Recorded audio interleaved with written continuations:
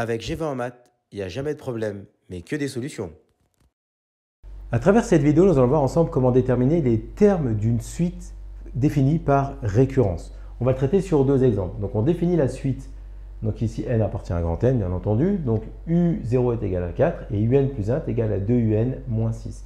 Donc ça, on rappelle que c'est bien une suite qui est définie par récurrence parce qu'en fait elle est définie par son premier terme et un terme est obtenu grâce au précédent, d'accord? Donc c'est pour ça qu'on est dans une situation d'une suite euh, ici définie par récurrence. Donc on a fait une vidéo qui expliquait la différence entre suite explicite et suite récurrente. Donc n'hésitez pas à vous y référer.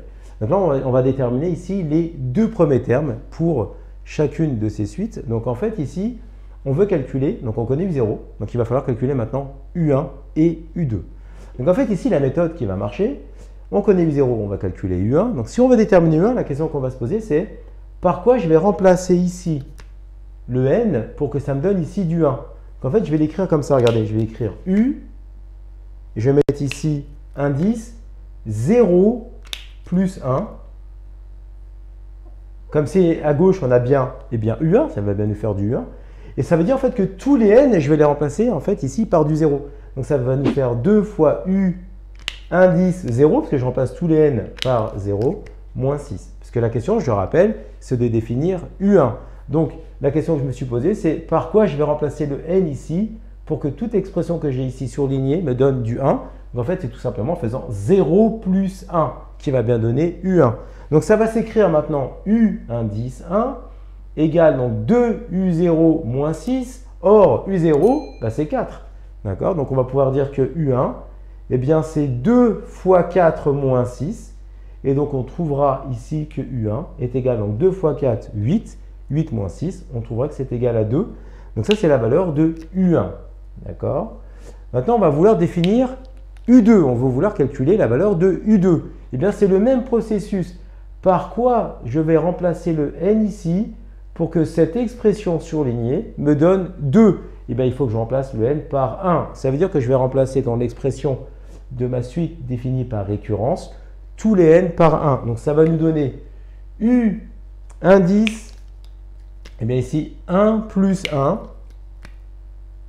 égale donc 2u indice 1 moins 6. Donc ça permet ici à droite, à gauche, pardon, d'avoir ici, eh bien, U2. U2 égale 2U1 moins 6. Donc là, ça reprend bien la notion de suite définie par récurrence, parce que pour définir U2, j'ai besoin de U1. D'accord? Donc on le voit bien ici dans notre écriture. Or, U1, on a défini U1 qui était égal ici à 2. Donc ça nous fait 2 fois 2 moins 6. Donc ça nous fait 4 moins 6. Autrement dit, U2 va être égal ici à, on a dit 4 moins 6, donc moins 2. Donc ça c'est le deuxième terme, le troisième terme, pardon, de ma suite, ici UN. On va le faire maintenant sur un deuxième exemple pour bien appréhender le mécanisme.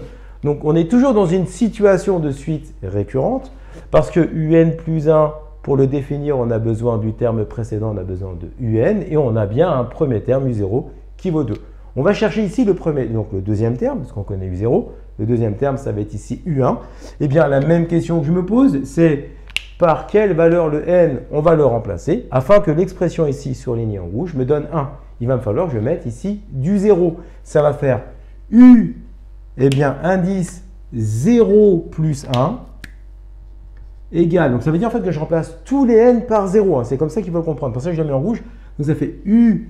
Regardez là, je mets bien 0 plus. Et là, c'est important. Il est là le piège en fait que souvent les élèves font l'erreur. Ici, c'est 0 moins 1. Parce que nous avons remplacé tous les n, d'accord, par 0. Parce que ça va nous donner ici pour le terme à gauche, eh bien la valeur U1 qui va être égal à U0 plus 0 moins 1. Nous laissons ça tel quel. Or, U0, eh bien, c'est 2. D'accord? Donc, ça nous fait 2 plus 0 moins 1. Donc, nous obtenons U1 qui est égal tout simplement ici à 1. Donc, ça, c'est le deuxième terme. On va reproduire le même schéma pour calculer U2. Donc, la question qu'on va se poser, c'est quelle est la valeur qu'on va remplacer ici par n afin que mon expression ici en rouge me donne 2. Donc il faut absolument que je mette 1 pour faire 1 plus 1. Donc en fait ici nous allons l'écrire U indice 1 plus 1 égale U indice 1, parce que je remplace tous les n par 1. D'accord? On a dit ici, il faut 1 pour faire 2 ici. 1 plus 1, ça fera 2. Donc tous les n, ils vont avoir ici du 1. Donc U1 plus 1 moins 1. D'accord? Donc ce qui va nous permettre maintenant d'écrire que ici U2 est égal à U1 plus 1 moins 1. Or, U1, ici, c'est 1. Donc, on va remplacer la valeur de U1 par 1. Ça nous fait 1 plus 1 moins 1. On obtiendra, eh bien ici, U1, U2, pardon, qui sera aussi égal, dans notre situation, à 1. Donc là, c'est la méthode à suivre pour pouvoir déterminer, d'accord, des termes d'une suite. Comme tu as kiffé la vidéo et que tu veux des bonnes notes en maths, alors tu mets un pouce bleu, tu t'abonnes à notre chaîne, tu poses un commentaire, on y répond sans problème. Ensuite, on t'embarque avec nous sur g20enmaths.com. Des exercices corrigés, des détails de ouf avec ça. Plus d'excuses pour pas avoir de bonnes notes en maths. Et bien sûr, rendez-vous sur nos réseaux sociaux.